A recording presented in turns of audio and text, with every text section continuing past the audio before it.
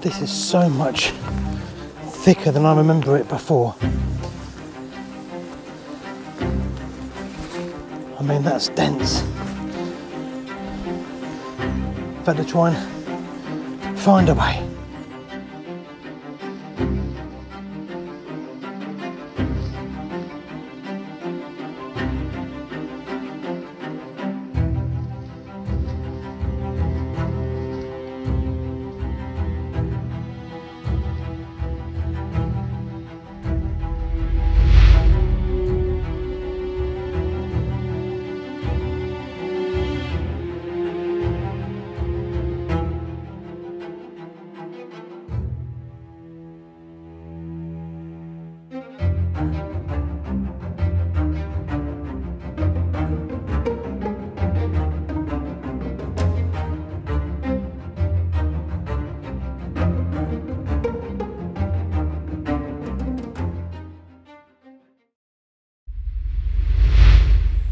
So this is just a look into a bit of a follow up on my, I say review in November, it's more of a preview.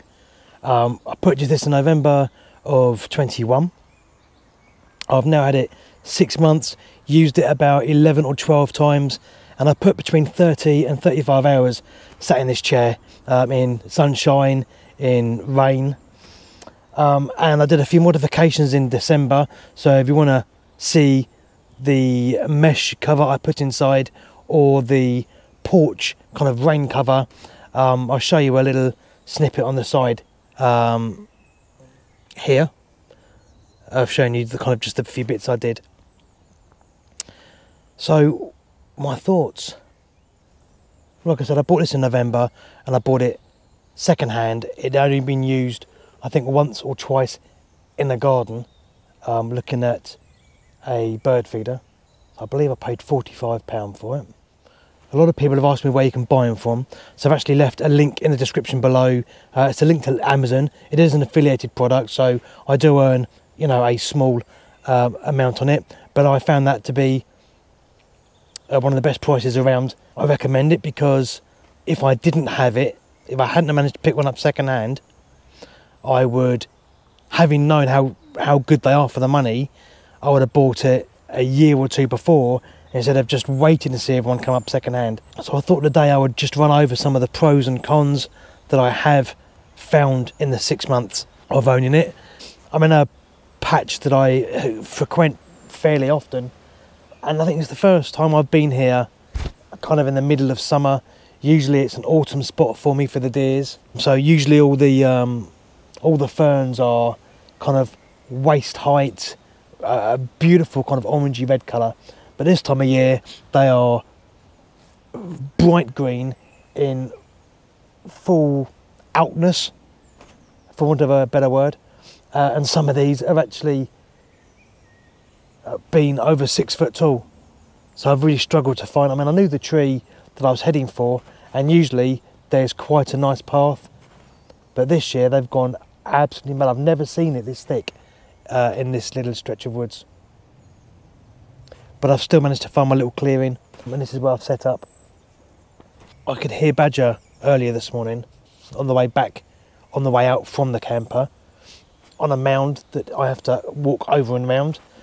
It had been, looked like it had been disused for a long time. But there's uh, an entrance going into it that's been freshly dug. I don't think it's big enough to be badger, but um, on the way out I will I will check for scrapes, etc.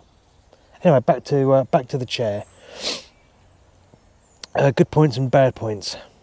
I'll start with the bad uh, because there's there's not really many. I'm five six, and up to six foot you're going to be okay, but above six foot you're going to start finding you know you'll end up crouching down a lot more. Um, if you want to sit more upright in it, it's very difficult because it starts to curve you know as soon as it comes up so you end up either leaning forward on it or you end up like I do just wedge myself down a bit so that's no major thing but when you're in it for hours upon a, you know hours at a time you want to be able to kind of stretch your back and so you just have to kind of lean forward and and stretch.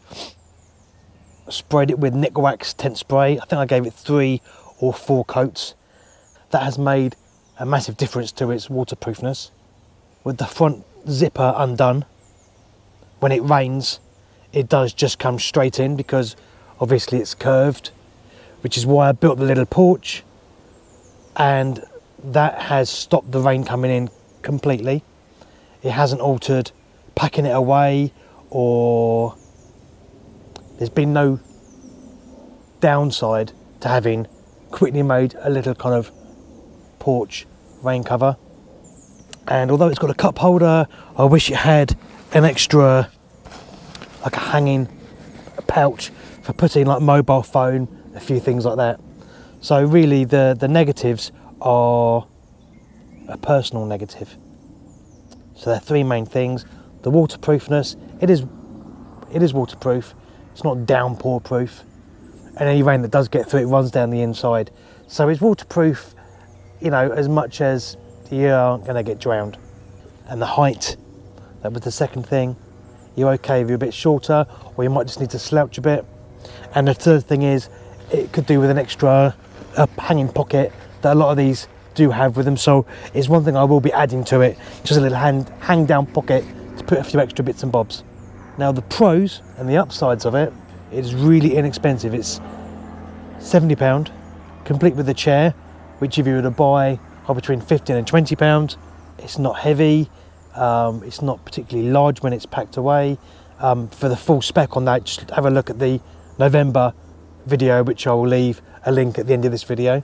There's plenty of room inside. I have not struggled to get my camera bag, my tripod, um, even though, and it holds a few extra um, things on the, the tripod.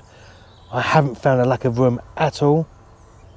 I like the little windows, the zip, there's four windows all round. Again, I'll show you here that they're just handy to have. It just means that you can unzip them. They are a little bit noisy, so when you unzip, if you just run your finger down it at the same time, it quietens it down a bit. Sorry, the flies are mad here. Uh, so you, know, you can unzip a little bit and, and look around, you know, your peripheral zones. It's a good colour camouflage, very quick and simple to set up. Another small issue that I have found is that where the metal pieces are for the archway, you have to be careful um, that it doesn't uh, rub away. I mean, it is rubbing some holes in there, and I'll show you from the inside that um,